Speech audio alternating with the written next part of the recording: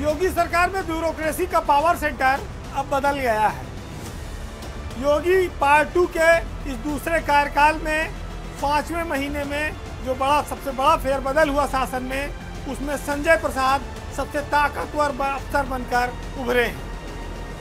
संजय प्रसाद मुख्यमंत्री के प्रमुख सचिव थे, लेकिन इस फेरबदल में जितनी ताकत उनको दी गई, उससे साफ़ है कि अवनीश अवस्थी, जो अभी तक ब्यूरोक्रेसी का पावर सेंटर माने जाते थे। अब वो शिफ्ट होकर संजय प्रसाद के पास आ गया है। संजय प्रसाद उन्नीस सौ पंचानवे बैच के आईएएस अफसर हैं। वह बिहार के सीतामढ़ी के रहने वाले हैं। और उनकी शादी उत्तर प्रदेश के फैजाबाद ज़िले में हुई है। आज की तारीख में योगी सरकार में उनकी हैसियत अब नंबर टू के अफसर की हो गई है। हालाँकि उनका बैच उन्नीस सौ पंचानवे अभी काफ़ी जूनियर है। लेकिन संजय प्रसाद के सितारे इस समय शीर्ष पर हैं। प्रमुख सचिव गृह का पद मिलना कोई आसान काम नहीं है।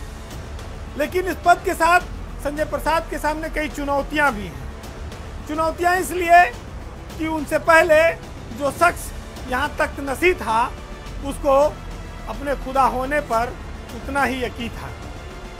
या यूँ कह सकते हैं कि वो सरकार की आँख नाक कान थे, उनको फ्री हैंड था, बेहद वो भरोसेमंद थे, वो जैसा चाहते थे, उन्होंने चलाया। साढ़े तीन साल से ज़्यादा वो उत्तर प्रदेश के अपर मुख्य सचिव गृह रहे। अब संजय प्रसाद एक ऊर्जावान और नौजवान अफसर हैं, उनको ये कमान मिली है। लेकिन कुछ तकनीकी बातें भी हैं उसके साथ। बात यह है कि संजय प्रसाद का जो बैच है, उनसे पुलिस महकमे में ऊपर कई सारे अधिकारी हैं। डीजीपी उनसे आठ बैच के करीब सीनियर हैं। डीजीपी देवेंद्र सिंह चौहान उन्नीस सौ अट्ठासी बैच के अफसर हैं और संजय उन्नीस सौ पंचानवे। तो स्वाभाविक है कि गैप बहुत बड़ा है। इसी तरह अगर आप देखेंगे तो एडीजी एलओ भी प्रशांत कुमार, वो भी संजय प्रसाद से काफ़ी सीनियर है। इतना ही नहीं, फ़ील्ड में जो अधिकारी तैनात हैं एडीजी रैंक में, वो भी काफ़ी सीनियर है।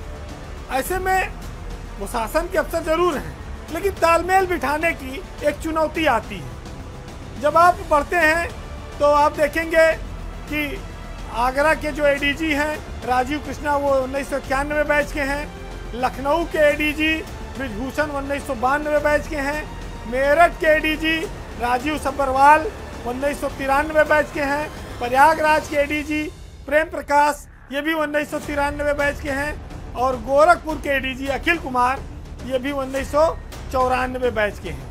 अब आते हैं पुलिस कमिश्नरेट पर। कानपुर के जो पुलिस कमिश्नर हैं, बीपी जोगदंड, वो उन्नीस सौ इक्यानवे बैच के हैं। लखनऊ के जो पुलिस कमिश्नर हैं एस बी सिरोडकर, वो उन्नीस सौ तिरानवे बैच के हैं। ये सारे अधिकारी सीनियर हैं ब्यूरोक्रेसी में, संजय प्रसाद के बैच से। तो ये नाम इसलिए बताया कि जब बात आएगी तालमेल की तो वहाँ पर ये सारी चर्चा हो सकती है। अब पुलिस में और शासन में तालमेल कैसे बनेगा, ये ज़िम्मेदारी संजय प्रसाद पर है। लेकिन लोग ये मानते हैं कि संजय प्रसाद एक सुलभ अफसर है। ऐसे अफसर हैं जो सरलता के साथ चीज़ों को निपटाना जानते हैं, जो लोगों को मन से सुनते हैं, प्रसन्नता के साथ उनको वापस भेजते हैं। तो सीएम योगी का जो भरोसा उनको मिला है और जो उनके पीछे ताकत है, वो हर चुनौती को पार कर जाएँगे, ऐसा लोग उम्मीद करते हैं।